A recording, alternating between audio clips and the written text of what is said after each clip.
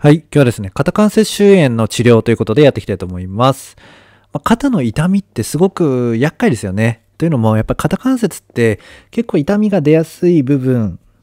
なんですよね。で、特に肩峰下滑液法は神経終末も多くて、疼痛域値も低いとかっていうふうに言われていますし、あとは肩麻痺の方で多いのが、やっぱりあの、RSE ですよね。あのー片手症候群。いわゆる。あれって結構原因不明だとか言われていて、痛みがやっぱり出やすいですよね。とはいえ、やっぱりこう肩が痛いからといって、いきなり肩からアプローチしても、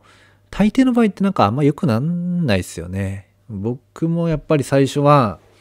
まあ僕一応 PT なので、あんまり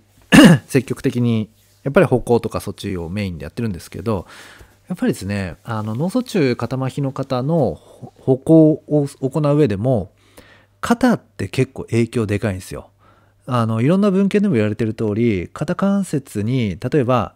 えースリングですよねああいうのをすると歩行良くなくなるそれはとそうですよねあの肩が物質的に必要的に前方に重さが出るのでそれで歩くっていうのは結構大変であると。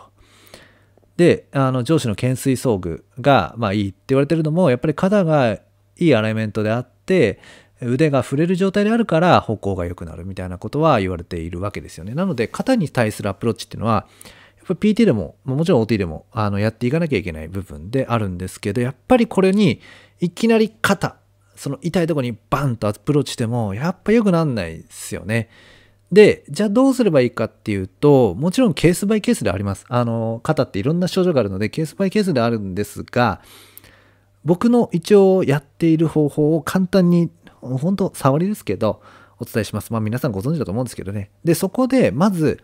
胸郭から見ていきたいですよねやっぱりね。うん、というのも、まあ、当たり前なんですけど肩甲骨は胸郭にくっついてますしそこから肩関節っていうのは出てるわけで大元がやっぱりちょっとこうアライメントがずれてたりとか高度が高かったりすると肩の運動っていうのはうまくいかないもちろんあれですよやっぱりね健康上アニズムっていうのはね皆さん学校で習うと思うんですけど肩甲骨の動きがあって肩って動くじゃないですか。それに加えて胸郭の肋骨の動きとかも入るわけですよね。情報回線したりとか。っていうのが入って、えー肩っていうのは動いているのでここがやっぱりしっかりと見ていかないといけない部分ですよね。さらにやっぱり胸郭がなんで大事かっていうと胸郭って普通に物理的に考えてでかいんですよね。大きくて骨もいっぱいあって関節もたくさんあるっていうところなので重要性が高い。運動に対する影響度が高い。と言えるわけですよね。やっぱり骨が少ないしちっちゃいところってのはあんまり重要じゃなかったりしますもんね。うん。というわけでやっぱり胸郭っていうのはやっぱり重要なんですよ。でまず胸郭を評価する上で大事なポイントとしましては上中下の胸郭に分けます。で上は鎖骨ぐらいからあ、まあ、鎖骨あたりですね。第一胸第一肋骨とか鎖骨をあまあ大体4押しぐらいで分けていくんですけど上から4押しその前に4押し。で下はあの肋軟骨ってあじゃない浮遊肋をあんまり触らないように評価しましょう。あの下までその浮遊肋に対する感覚っていうのはあんまり良くないので感覚入力がね。なので、まあ、上中下をちょっとタイトに見ます。で上中下で区分を分けてさらに右と左で区分を分けしてい、えいきます。でその胸郭を6つに分けてそこを触診していくわけですね。一つずつ。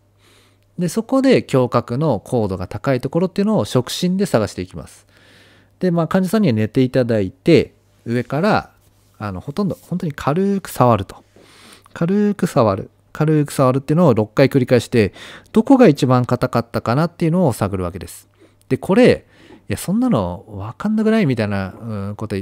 思うかもしれないんですが手の感覚ってやっぱり繊細なので例えばあのテーブルを触った時と本を触った時の違いって分かるじゃないですか。明らかに。紙と木だなとか。そういうのも目つぶって触っただけでも分かるぐらい僕らの手の感覚っていうのはあの繊細なのでそれを信じてやっていくと分かりやすいかなと思いますもちろんあの間違うこともやっぱりいっぱいあるのでそこはあまああの練習とやっぱり、ま、自分は間違うことがあるって思ってちゃんと取り組んでいくっていうことが大事になってますね。あの、っていうところで、まあ、やっぱり触診技術ってのはやっぱりどっちにしても大事なので、それで6個に分けて見ていきますと。で、そこに対してアプローチをするんですね。でも本来であれば、高度が高い方を下にして側外を取った方が、あの、効果としてはいいんですよ。なんでかっていうと、硬いところがベッドのところについてると、上から重力がかかるので、その分治療介入しやすいんですね。でも、肩が痛い方って、痛い方の肩を下にして側外にはなるのは厳しいじゃないですか。なので、まあ、こう肩が痛くて側外下に痛い方を下にして側外できない場合はあの上にして側外になりましょう。あの例えば右肩が痛いんだとすれば、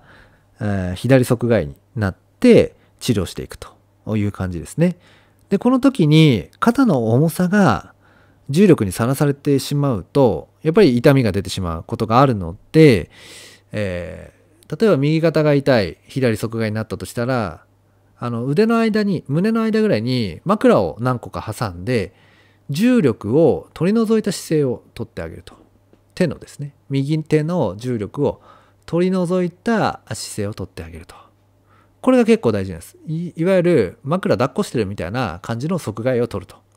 この上で治療介入していきます。このポジションを取るっていうのが結構大事で、えー、左側外になって枕を抱っこして、えー、右手の痛みをがない状態のポジションを作ると。その状態で、えー、高度が高いところに対して動的な感覚入力をしていって、まずは胸郭から高度を落としていくというふうにやっていくと、結構結果が変わるので、まあ、もしよかったらですね、試してみてください。はい。というわけで、あの今日はですね、胸郭に対する治療なんですけど、あの本当に基礎的な内容になってます。要は、胸郭を6つに分けて、えー、評価すると。で、硬いところをちゃんと見ておくと。で、肩が痛い場合は、その痛い方の肩下にできないので、えー、例えば右肩が痛い場合だったら左側外になって枕を抱っこして横になると。で、痛い、痛みがないポジションを取ると。でそこでさっき高度が高かった胸郭に対して感覚入力、動的な感覚入力をどんどんどんどん入れていって、胸郭の柔らかさを出していくと。まずそれが肩を治療する上での第一段階ですよっていうのが今日の話でした。第2段階、第3段階については今後動画で出していきますので、よろしければチャンネル登録お願いいたします。では最後まで聞いていただいてありがとうございました。失礼します。